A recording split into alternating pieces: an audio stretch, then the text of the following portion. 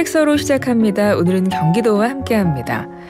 취업 준비생이라면 주목해 볼 만한 소식이 있어요. 경기도가 일자리 박람회를 연다고 하는데요. 구직과 구인 모두 한 곳에서 알아볼 수 있는 좋은 기회가 될 것 같습니다.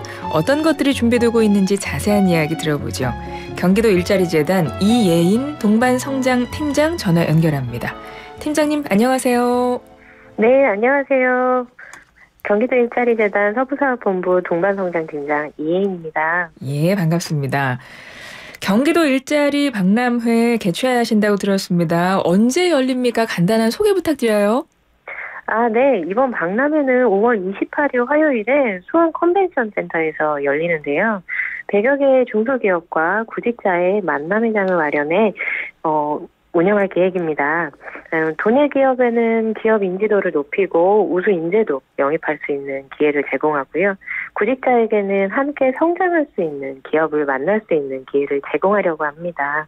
예, 경기도 일자리 박람회 뭐 중점적으로 추진하고 있는 사업 분야도 있을까요? 네, 이번 박람회에는 경기도의 신성장 산업의 경쟁력을 높이고 일자리를 창출하는 거에 집중하고 있는데요. 어, 신성장 산업은 보통 배터리, 반도체, 바이오, 인공지능, 모빌리티와 같은 산업을 일컫습니다. 경기도에서는 반도체, 미래차, 바이오를 3대 전략 산업으로 정하고 다양한 정책을 추진하고 있는데요. 이런 기조에 맞춰서 경기도 일자리 박람회에서는 미래 신성장 산업의 기업이 80여 개가 참여하고요. 또 현장에서 면접과 채용 상담을 진행할 예정입니다. 면접도 현장에서 볼 수 있다고 하니까 정말 유용한 시간이 될 것 같은데요. 혹시 이 면접 말고 또 뭐 다른 것도 준비가 될까요? 어, 네. 미래 신성장 산업에 대해서 경험하고 배울 수 있는 체험관도 운영되는데요. 체험관은 뭐 비, 배터리, 디스플레이, 반도체, 바이오, 인공지능, 자동차 이렇게 여섯 개 산업협회의 협조로 운영될 예정입니다. 그리고 내일 설계관도 운영되는데요. 이곳에서는 현직자의 멘토링과 이력서 자소서 전달, 그리고 현장 체험 매칭까지 어, 구직자의 실질적인 취업 연계를 도울 다양한 프로그램도 주, 준비되어 있습니다.